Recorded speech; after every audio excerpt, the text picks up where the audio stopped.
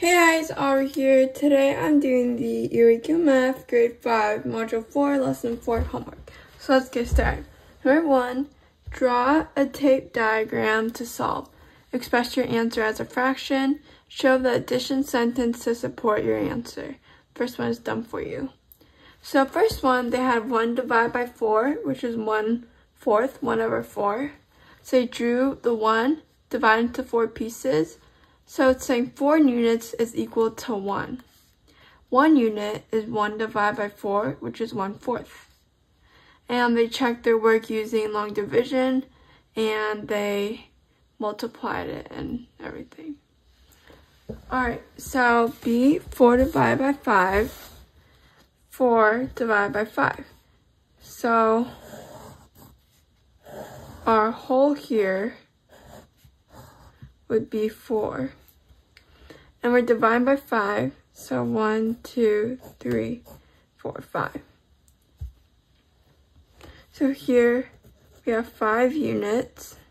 And 5 units is equal to 4.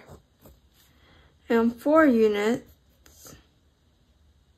Oh, no, no, 4 units. 1 unit here is...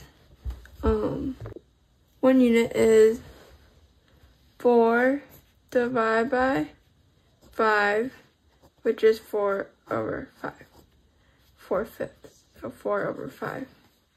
And our long division, 4 divided by 5, 5 does 0 times into 4, minus 0, 4 left over, so our answer is 4 fifths.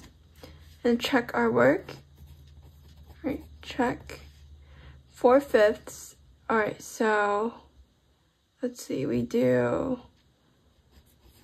5 times 4 fifths. That's 4 fifths plus 4 fifths plus 4 fifths plus 4 fifths plus 4 fifths. 5 times. That's 4, 8, 12, 16, 20. Equals 20 fifths, which is 4. So that is our original number, so our answer matches up. Alright, C, 8 divided by 5. So that means our whole is 8, and we're going to divide it into 5 pieces. So 5 units is equal to 8, because 8 is our whole. Then 1 unit is 8 divided by 5, which is 8 over 5. Long division, 8 divided by 5. 5 goes 1 time into 8, minus 5, 3 left over. So 1 and 3 fifths. You can also write that here. And to check our work, um, we do 5, is it? We? do 5 times 1 and 3 fifths, which is 1 and 3 fifths, plus 1 and 3 fifths, plus 1 3 fifths, plus 1 3 fifths, plus 1 3 fifths. That's 1, 2, 3, 4, 5, plus 3, 6, 9, 12, 15. For 5, which is 5 plus 3, which is 8. So our numbers match up. Alright, D, we have 14 divided by 3.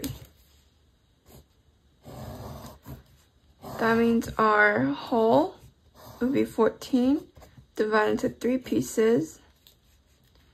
That means 3 units is 14, so that's our whole. So 1 unit is 14 divided by 3, which is 14 over 3. And our long division will be 14 divided by 3. 3 goes 4 times into 14 minus 12, 2 left over. So that's 2 thirds. 4 and 2 thirds. So for the check part, we just do 3 times 4 and 2 thirds. That's 4 and 2 thirds plus 4 and 2 thirds plus 4 and 2 thirds. 4 plus 4 plus 4, that's 12. Plus 2, 4, 6. 6 eighths. Wait. Hold oh, where did I get 8? It's 3. Or does that look like 8? 6 thirds, which is 12 plus 2, which is 14. Alright, next page. Number two, fill in the chart. The first one is done for you. Alright, so this is kind of like the previous lesson, I think, or one of the last few lessons where we had a chart. So let's see, B, we're given the fraction 3 fourths. So our division problem would be 3 divided by 4. 3 divided by 4. And 3 fourths is not even 1. So it's between 0 and 1. And our long division, we do 3 divided by 4. 4 goes 0 times into 3, minus 0, get 3 left over. So it's 3 fourths. Alright, C, 7 divided by 2. So, um, 7 over 2, let's do the long division first. 2 goes 3 times into 7, minus 6, you get 1 left over, so 3 and 1 half. That means this number is in between 3 and 4, because it's more than 3 but less than 4. Alright, and D, 81 divided by 90, because 81 divided by 90. So you standard algorithm first, 1 divided by 90. 90 goes 0 times into 81. So it's 81 over 90. And that's not even 1. So it's in between 0 and 1. Because it's more than 0 but less than 1. Alright. And our final page, number 3. Jackie cut a 2 yard spool into 5 equal lengths of ribbon. A. What is the length of each ribbon in yards? Draw a tape diagram to show your thinking. In yards, all right, so our total, our total is two because we have two yards. They're split into five equal pieces. So what's the length of each ribbon?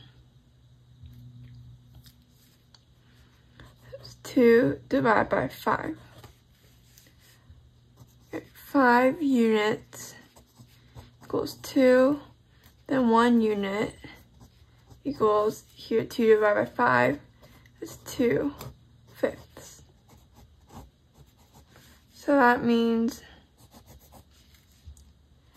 each ribbon is 2 fifths yards. Alright, B is asking what is the length of each ribbon in feet? Draw a tape diagram to show your thinking. So in feet, we know there in each yard there are three feet. So if we have two, then two yards converted to feet multiplied by three, that would be six feet. So our tape diagram would now look like this, six feet, and still being divided into five pieces.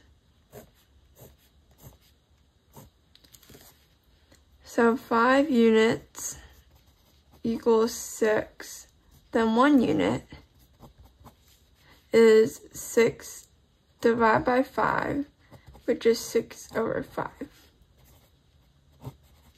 Or 1 and 1 fifth.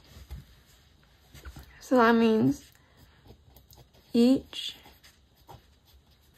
ribbon is 1 and 1 fifth Our number four, Baa Baa, the black sheep, had seven pounds of wool. If he separated the wool equally into three bags, how much wool would be in two bags? All right, seven pounds divided into three bags. tape diagram. Total seven divided into three bags. So three units is seven because that's our whole. So then one unit is seven divided by three here, which is seven over three. So seven over three or two and one third. So two and one third is in each bag, but it's asking how much is in two bags. So two and one third plus two and one third.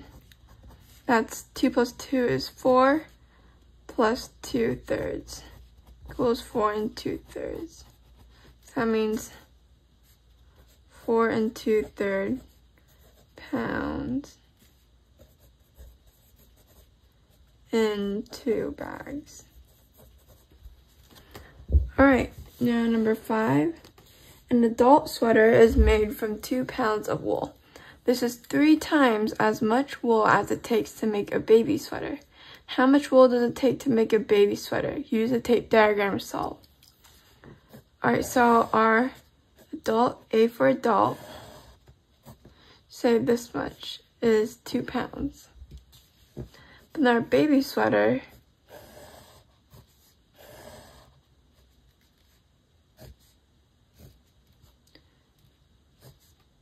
is only this much. And we don't even need this part really. This is the baby sweater. The adult sweater is three times as much, takes three times as much wool. So to find out how much it takes to make a baby sweater, we to divide by three because this is two pounds of wool. So we just get two over three. That means it takes two third pounds of wool for a baby sweater. So yeah. Alright, thank you guys so much for watching. I hope this video helps. And please don't forget to like and subscribe because it really helps out my channel. See you next time. Bye.